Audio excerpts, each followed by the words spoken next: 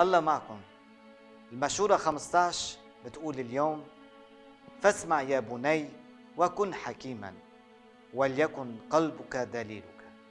لا تكن بين شربي الخمر ولا الذين يأكلون كثيرا فالشريب والأكيل يفتقران وكثرة النوم تلبسك الخرق أمثال 23 19 21 المشورة اليوم بتنبهنا وبذات الوقت بتعالج معضلة شراهة شرب الخمر والأكل والنوم.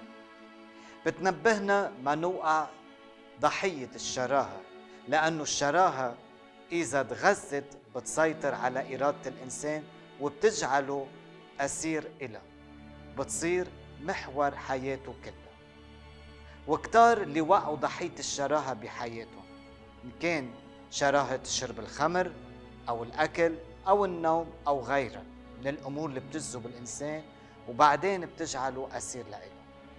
فالمشورة اليوم بتدعيك تتحلى بالحكمة أو المعرفة.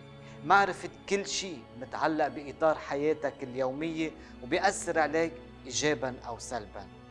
فوقت بتعرف مساوئ الشراهة هيدا الشيء بيساعدك تتجنب ما توقع ضحيتها والإنسان الحكيم هو اللي ما بيخلي ذاته أداة للشراهة تتحكم فيه بل بيعرف كيف يروضها بعدم الخضوع إلها ومنعرف أنه شرب الخمر والأكل والنوم من الأمور الحياتية اليومية والضرورية وبتعطي للإنسان لذة وبتفرح قلبه.